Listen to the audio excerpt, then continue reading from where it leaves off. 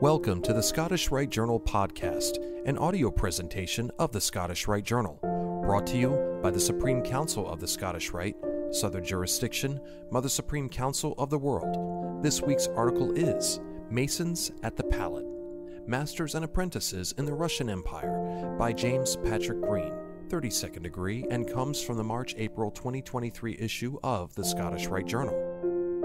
Freemasonry counts among its ranks many of the most talented authors, musicians, and artists of the past three centuries. This fact also rings true in the case of the Russian Empire, where Freemasons occupied prominent positions in the imperial court, published their literary works, and created much of the visual art that illuminates our understanding of 18th and 19th centuries in Ukraine, Russia, Belarus, and the Baltic states the lives of three painters illustrate how Freemasonry attracted masters of the fine arts to its ranks, with knowledge and artistic skills passed from master to apprentice both within and without the lodge. Dmitri Grigorievich Levitsky, 1735 to 1822, was born in Kiev and trained by his father, who was both a priest and an artist. Leaving for St. Petersburg in his early twenties, he apprenticed under the portraitist Alexei Antropov his career reached its crescendo after he received the title of Academician in 1770. His most famous works are his portraits of the Empress Catherine II and leading members of the Russian court. Levitsky received the three craft degrees at the end of 1797 on the recommendation of his friend and prominent Freemason Nikolai Novikov.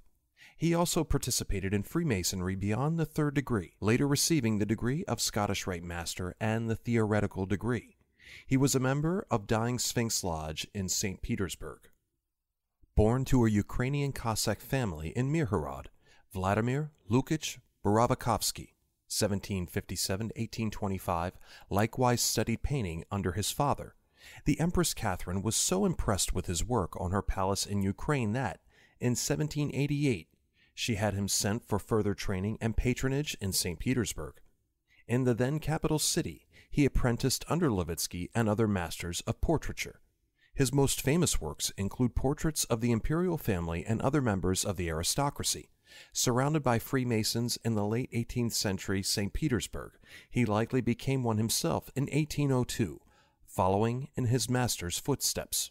The path that led Alexei Gavrilovich Venezianov 1870 to 1847, to create visual masterpieces differed starkly from that of his predecessors.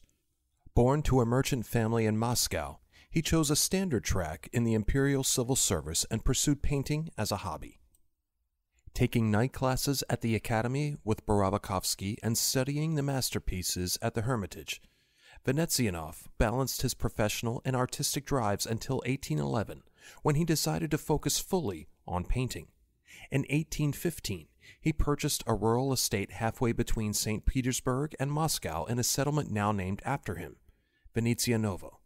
Venezianov would go on to create works in a realist vein inspired by scenes of peasant life on his estate. He would later create an art school on his estate, with some of the students being those same serfs he portrayed in his paintings. Venezianov also was initiated into Dying Sphinx Lodge in 1821.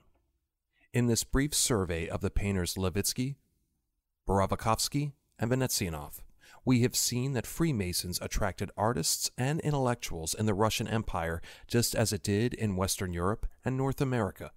In future issues of the Scottish Rite Journal, I will offer further vignettes from Russian imperial history that demonstrate the cultural importance of Freemasonry in Eastern Europe. As an added feature to this Scottish Rite Journal podcast, I had the privilege to speak with Brother James regarding his article. Hope you enjoy it. Was Freemasonry an all inclusive fraternity in Russia, or was it just left to the aristocracy and those working in the imperial royal court? So we have a variety of, of takes on this, but at, at the end of the day, it sort of comes down to this uh, society in imperial Russia was highly, highly stratified. So we had a very small amount of people at the top uh, working in, in various positions in the government as nobility, whether hereditary or, or uh, otherwise. And this is a very small slice of the population, and a great majority of Masons in Russia were pulled from this slice, right? So we understand Freemasonry as requiring its members to say read and mm-hmm. be able to communicate in writing. And in russia even among the nobility this was not a, a common thing. You know literacy was very literacy a very small pop, a portion of the russian population was literate i'd say up until even the, the soviets took over. And, including and, the aristocracy? Yeah including the aristocracy. Wow yeah, so the the Russian breeding public wasn't uh, developed, and we see in the 1760s and 1770s uh, this guy Novikov come through, and and he's a publisher, and he attempts to um, engage with the Russian reading public by publishing things for children, publishing uh, religious manuals, publishing a whole variety of things, and he's one of the main um, Masonic figures uh, in this period as well, and I, I hope to cover them in, in the next article that appears in the in the journal. But yeah, so we do see some very small numbers of craftsmen or merchants or other people who don't belong to the nobility in in Russian Masonic lodges, but honestly, a lot of those people are also not Russians, so they're they're Germans or they're English or you know they're coming from other parts of Europe, but the Russians, like ethnically or, or Russian speaking, mm-hmm. very strongly come from the nobility. So mouth to ear was was heavily relied upon. Yes, I mean I'd say for for that one, yeah, but Russians also imported Masonic practice largely through the written word, as far as I've been able to tell. So I, would say it was, you know, what do they call it in the Scottish Rite? They called communicating degrees. So they right. they had degrees communicated to them when they were abroad, say in, in Germany, and then they communicated these same degrees to other Masons simply through reading the manuals they were given. You mentioned in the article the Borovikovsky was surrounded by Freemasons in the 18th century. In late 18th century St. Petersburg, he likely became one himself in 1802 following in his master's footsteps. Didn't sound incredibly definitive. Uh, were records lost to confirm his Masonic journey, uh, along with others through events later on in Russian history? Yeah, I really like this question, and I'm, I'm glad you picked up on that. So for Borovikovsky, it was uh, the sources, like many historical sources, were not definitive, right? So for him, uh, the main source I lean upon is Tatiana Bakunin. She, she, published this great source in French in, in the 20s and 30s, sort of listing every Russian Freemason she could find mm-hmm. and their dates of initiation or and who they knew and what they did. And how she put it was the only thing she could find linking him to a Masonic lodge was an entry in his journal saying that he chanced upon an encounter in a friend's house where he overheard a Masonic meeting. But later sources, like I think the Great Russian Encyclopedia, lists him as a Freemason. I think they're drawing upon how uh, Masonic nobility or how the nobility in St. Petersburg during this period, including you know his predecessor in art and his successor in art, were Masons were engaging with this Masonic philosophy, and they sort of just sort of jumped uh, to a conclusion there. I mean, mm-hmm. there's nothing definitive that we we have say on um, the other two artists, the Levitsky and Venezianov, but I think it's it's fair to say that there's a good likelihood, right? If they're having Masonic meetings around him, and if he's just invited to somebody's house while they're having a Masonic meeting in the next room, right? You know they're either not entirely tight-lipped about these meetings or he's already invited to them and welcome to be present at them. The degree of scottish master and theoretical degree jumped out at me. I'd never heard of of that before. And and after a little google research i, I didn't find anything on it. To what are these degrees an equivalent to? That's a, another great question and and also hints at some of the quirks of of freemasonry period uh, during this time frame and also Russian Freemasonry. So these degrees are connected in a large part to Rosicrucianism rather than Freemasonry in terms of the craft degrees or even the high degree systems. Mm-hmm.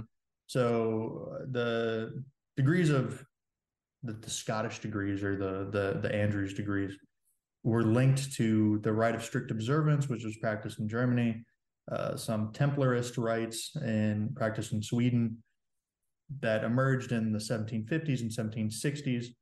And at, at some point, these were transformed into, uh, I guess I would typify it as a Masonic order, or perhaps a paramasonic order called the, the Golden Order of the Rose Cross that had took as its base of initiates master masons or people within the masonic system and then had the Scottish degrees, which were being practiced within regular Masonic practice in uh, craft system lodges as sort of a fourth or fifth degree, uh, maybe in a Royal Arch system. And then those who had achieved the Scottish degrees were allowed to take the theoretical degree, which they thought as the midpoint between profane Freemasonry and uh, uh more mystical inner Rosicrucian system. And then uh, from the theoretical degree, you had a whole another set of steps which limited the range of how many people were admitted to these inner mysteries and also created a, a sort of very stratified hierarchy between, say, the great mass of craft Freemasonry, which the Rosicrucians sort of derided as just a social club mm-hmm. and say those who had held the Rosicrucian degrees who issued orders to uh, those below them. So I, would say, you know, when we say someone has the Scottish degrees, it's okay. They're not only interested in Freemasonry as just, you know, a social club, just having the a Master Mason degree and just hanging out with your friends, but right. they're sort of interested in a more mystical inward looking branch of Freemasonry. And I'd say, especially for someone who crosses over into the theoretical degree, this is especially true. Did Masonry in Russia during any of this period experience any of the anti Masonic movement that was going on in the West? Yes and no, right? I, would say Russia has had more anti Masonic years than it ha- has had pro Masonic years.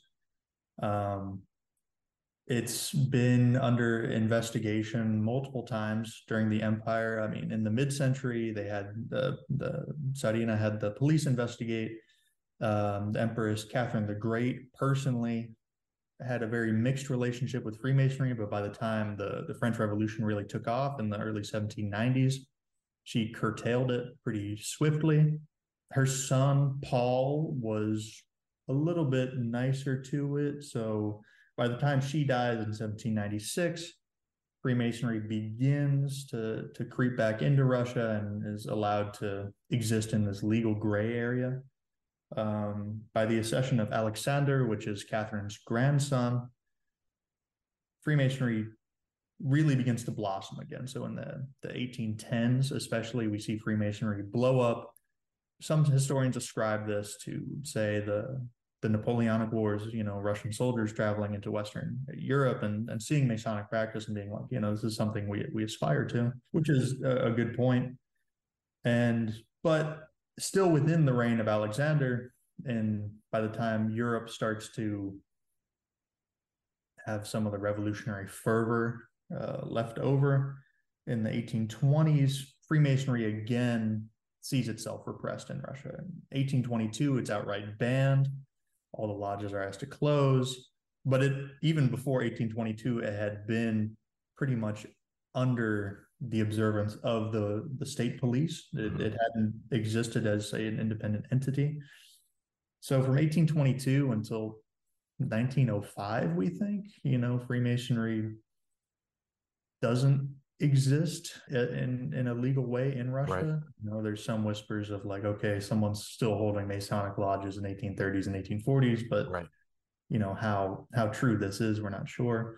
And of course, the Bolsheviks, once they take power, don't allow Freemasonry to right. operate. Well, and that was kind of had me thinking when when a single word that you used when you said they were asked to close was it more of they were forced or were they actually asked to close it was kind of like um, or since since Freemasons in Russia didn't weren't really terribly revolutionary. I think a simple ask did the job, right? Okay. I mean, if the if the czar asks you to resign from a post, you're not really in a, a spot to say no. So I, I suppose asking and forcing aren't really that that large of a difference. But violence wasn't necessarily used. They they sort of just shuttered their own operations and right. So the three artists artists that you mentioned in the article, how active were they as Freemasons? And I guess some of that might, from what, what you've mentioned already, how you know, is there a lot of recorded activity, or is there a lot of recorded information of their activity? Yeah. So, and and how active Masons are, you know, can you just judge that by their name on a lodge register showing up every meeting? You know, right. I like to think that a, a good way of judging that is is how engaged they were perhaps with the more Rosicrucian elements of Freemasonry, because I think that takes a greater level of devotion and, you know, mental self-study to to really achieve prominence in these Rosicrucian circles because they had to study, they they were really engaged with each other in a form that more mimicked a, a religious experience and a Masonic experience as we typically uh, uh, understand it.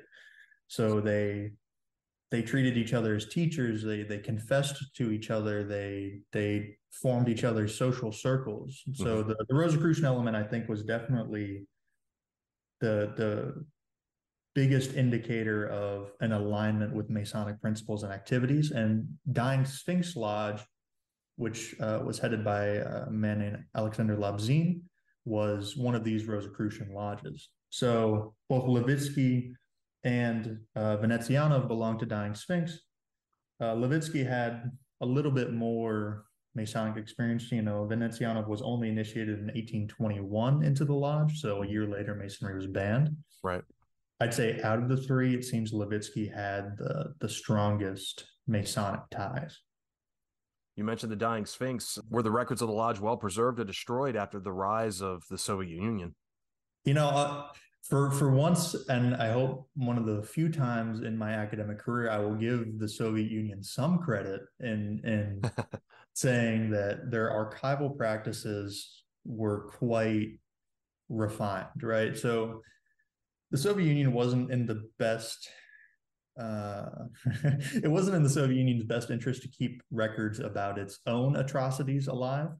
You know, so things about the Gulag or or the uh, the purges. You know, we we struggle with records about that, even though records do exist and are are very present. But in the imperial period, regarding records about the imperial period, the Soviets were, were quite good at preserving those, and we can still find them in uh, our state archives in, in Russia and in Petersburg and Moscow. So, yes, the records do survive if the people that made the records decided not to destroy them. And that sort of is an interesting point where the Rosicrucians in Russia were instructed to destroy documents, to destroy oh, wow. evidence of their membership. Now, to what extent this was followed varies based on member. We can say that a lot of members were really good at doing this. Um, some members were really bad at doing this. So when they were arrested, you know, ever the the czar seizes their records, and then we we have this great sort of preserved idea of their their organization, their members, their rituals, and, and everything. Like and share this article, and don't forget to subscribe to the channel. If you wish to comment, please leave one, and as a reminder, hit the notifications bell. Any accompanying photographs or citations for this article can be found in the corresponding print edition. The Scottish Rite Journal is published by the Supreme Council of the Scottish Rite, Southern Jurisdiction, Mother Supreme Council of the World. Mark Dreisonstok, 32nd degree, KCCH Managing Editor. I'm your host, Matt Bowers.